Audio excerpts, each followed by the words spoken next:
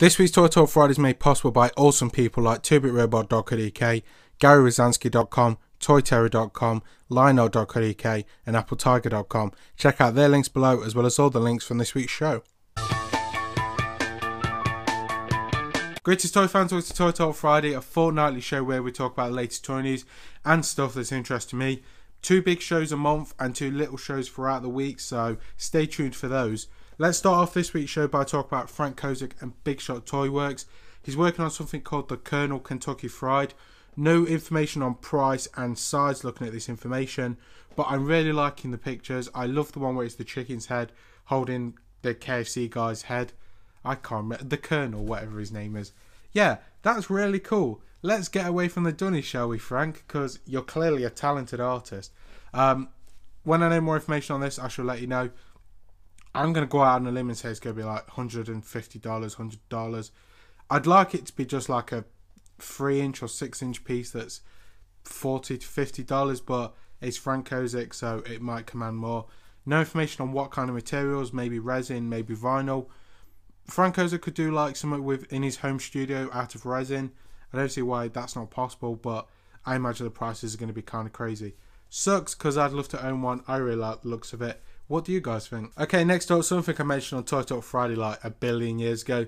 The Bartholomew Punchyface, a collaboration between Scott Tolleson and Luke Chueh. Links below to a Little Stranger store where you can pick these up. £30 a piece or £75 for all three of them. There's the grey and red, the green and the yellow. All great colourways in my opinion. The grey and red's my personal favourite. There's no limited availability on these, so get them while you can. The stock might be low. Uh, but yeah, I'm really digging these, and I'm wondering if there's going to be more artist collaborations on new plushes, perhaps. I'd kind of like to see a John Paul Kaiser McBess combo. I imagine that'd be pretty sweet. Okay, next up, let's give a quick shout out to the Art Pass Series 5 by Lunartik Jones and his fellow artist chums. These are £2.99, available from Lunartik store below, and I imagine from the artist stores. Uh, links below to Matt Jones's website. Um, he donated three of them. There'll be a review and a giveaway soon, so stay tuned for that. and yeah, it's containing such artists as Jim Woodring, Matt Jones, Simone Legno, Uda Pup, Sarah and Den, Jon Burgerman, Billy, Pablo, Ayentili, I'm so sorry I screwed your name up, Unplugged, Jeff Lamm, and this one's my favourite so far. A lot of people, when I mentioned the giveaway, wanted this one, so I might give this one away and buy one myself from Matt's store. £2.99 is a bargain. Go check these out. Links below.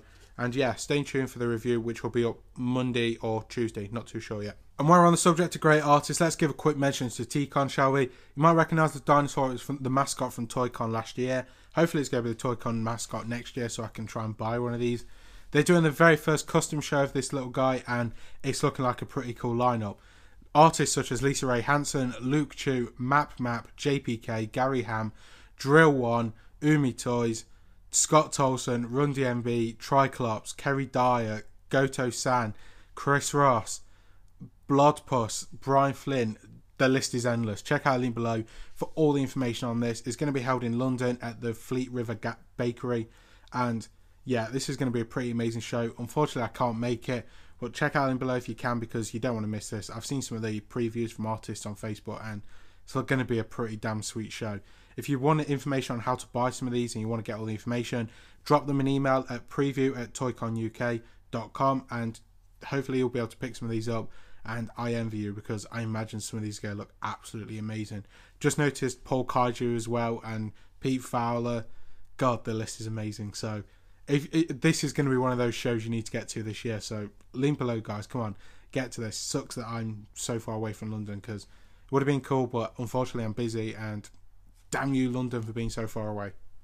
Okay, let's end this week's show by giving a little mention to Kidrobot because wow, Jesus, it's like watching a train wreck. Um, first of all, I don't like to be critical of artists and stuff often because it sucks and it breaks my heart, but Kidrobot's just kind of lost their way, in my opinion. Um, they seem to be squeezing the ever loving daylight out of that Simpsons franchise. We have a new Homer 8 inch. By the way, don't expect pictures because I cannot be fucked to even edit that shit in. Just go fucking Google it or something. I don't know. Um, yeah, there's a new Dunny series ish series to do with the Simpsons Treehouse of Horrors, and mm, that's how I feel. when I can't even be bothered to put a few images to show these things, that's when you know, you know, it's not exciting anymore. I, I've kind of I miss the days where you'd you'd get an email about the new Kidrobot updates and you'd be really excited and you'd read it and you'd be looking forward to going to the events and stuff. And now it's just like, oh, okay, yeah, that sucks. Um, little bit of good news, although I've seen some pictures that were on one of the toy groups and might not be so good. The Kidrobot Evolved Dunny series. Uh, each Dunny Evolved is a three man lineup, three stages of evolution by three, um, five artists Frank Kozik, McBess, Kronk, And Scott Tolleson. And here's the preview picture that they've done. Uh, yeah, I like the idea of this. And by the idea, I mean the idea of having Frank Kozik, McBess, Kronk do the evolution stage of a Dunny. Great idea. My problem, it's not a box set for a start, which absolutely blows because you're going to be buying a lot of these blind boxes to try and complete this set. And I imagine you're just going to. To me, it feels like Kidrobot is going to be a massive douche and make the Dunny version rare or the middle one rare, and you're just going to get loads of the first stage or loads of the last stage, and that that if that's what's going to happen, fuck Kidrobot because that will blow a fat one. I don't know why they just didn't do it as a really cool box set. They did it with the um, Street Fighter series where they had the Dunny in the box and then you got a mystery one next to it. I, I don't see why they just can't do a box set of all three designs neatly boxed. Would have been pretty cool. Uh, I'm looking forward to the McBess one. The McBess one is probably the only one I'm super hyped for because I'm really digging his style at the moment. Um, the last thing I want to say is why wasn't it different sizes? I think it would have been even amazing if it was a three inch, then a I don't know five inch, and then an eight inch. You know, just so it gets bigger and bigger and bigger.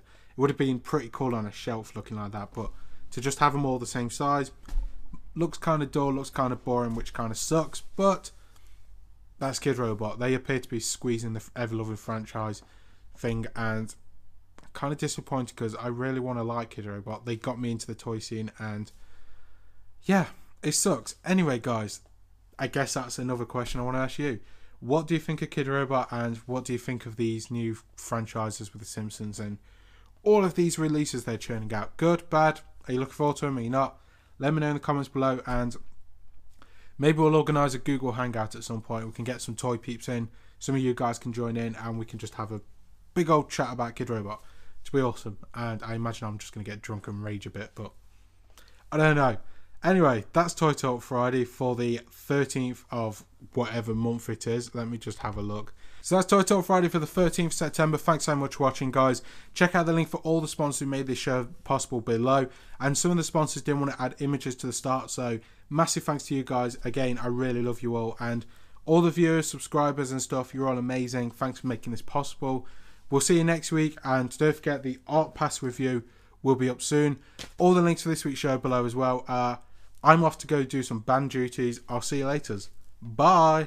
This week's Toy Talk Friday is made possible by awesome people like 2bitrobot.co.uk, GaryRozanski.com, ToyTerror.com, Lion-Art.co.uk, and AppleTiger.com. Check out their links below as well as all the links from this week's show.